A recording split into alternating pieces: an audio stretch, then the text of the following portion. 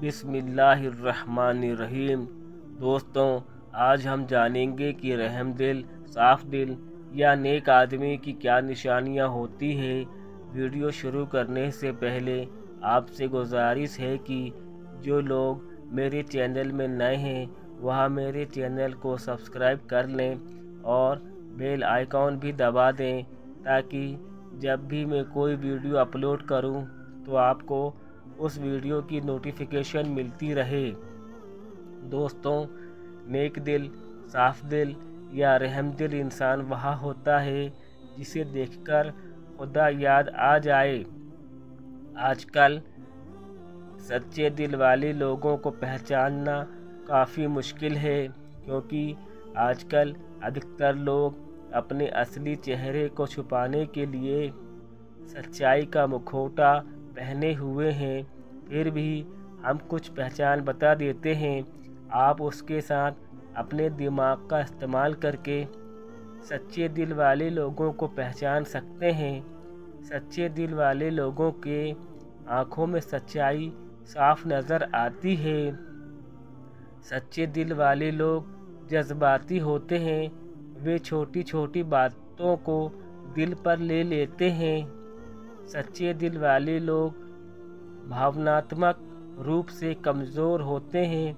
किसी भी दिल दुखाने वाली बात पर उनकी आँखों में आँसू निकल जाते हैं। सच्चे दिल वाले लोग बहुत जल्दी नाराज़ हो जाते हैं, लेकिन बहुत जल्दी मान भी जाते हैं।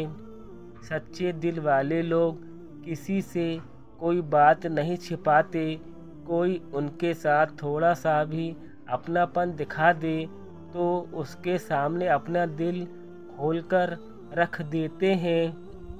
सच्चे दिल वाले लोग कोशिश करते हैं कि उनकी वजह से कभी किसी का दिल ना दुखे।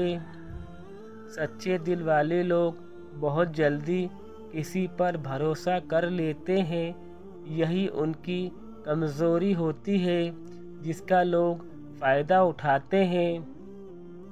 जब आप एक अच्छे इंसान के साथ बैठोगे तो वो आपको ये एहसास नहीं होने देगा कि आप उनसे बड़े या छोटे आदमी हो।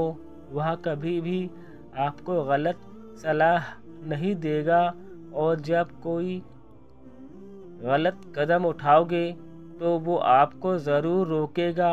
वह आपके अंदर फ़ायदा या नुकसान नहीं देखेगा, लेकिन उनके अंदर एक और बात होती है कि वो सिर्फ़ अच्छे लोगों से ही बातें करते हैं, इसलिए हम शायद अच्छे इंसान से नहीं मिल पाते हैं, क्योंकि इसके लिए पहले हमें खुद अच्छा बनना होगा।